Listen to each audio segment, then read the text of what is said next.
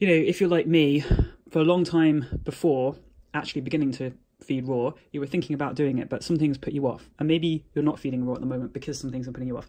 So I just want to talk about some ways, some worries I had and some ways I got around it.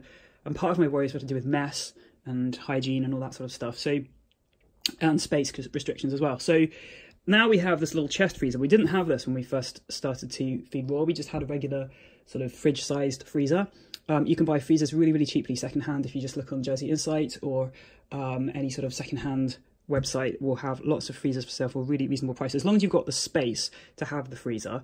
I mentioned this in another part of the video later, but um, I really recommend these. They are lock and lock um, containers, and they're really sort of A4 size, if you can say that a box is A4 size, you know what I mean. Um, and in the bottom here's some sort of grill, and this is really excellent because if you don't have the grill, there's a lot of blood that comes off raw meat, and it can all just get a bit sludgy and sloppy. So I really like this grill because what happens is it all drains and stays underneath the grill, um, and keeps the meat itself um, not slushy and sloppy. So we just have the one that we're currently using um, here, and you can see that all the blood um, gets sort of stuck at the bottom there.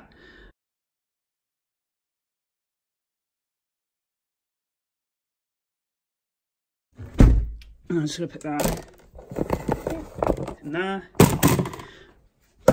So at the moment it's like frozen rock solid because it's just come out of the freezer. So you kind of have to think ahead um, and you get this little system going, whereas you use, you're using one in the kitchen and you're defrosting one in your extra fridge. This is our dog food defrosting fridge. So again, fridges are really dirt cheap secondhand. So as long as you've got the space to have it, then that's gonna work. Oh, man, I can't do this with one hand. Anyway, put it in there. Um, so I would just leave that in there to defrost, and actually takes a really long time to defrost because um, that they're really dense. These chubs, and so they take probably like two days, and sometimes some flavors like duck. Um, and yeah, duck particularly seems to take turkey as well seems to take a particularly long time to defrost, whereas the chicken flavour um, and the salmon flavour don't take hardly any time to defrost. So once you've been using them a little while, you'll get to know that. Um, all right, so let's go through to the kitchen.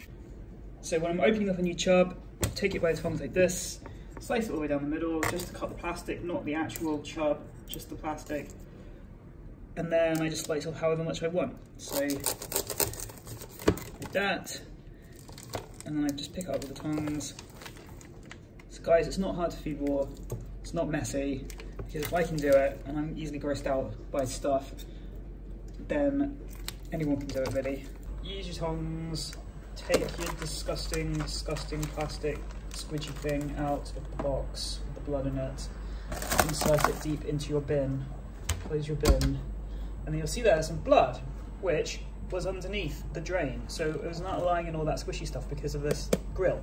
Um, so then what you just do is just pour that down the sink, and then I use the tongs to take out the tray and to put it in the dishwasher. It's definitely worth figuring out a way to be able to feed raw because it's just the healthiest way to feed. I'm completely a raw convert now, um, a late raw convert, but complete convert.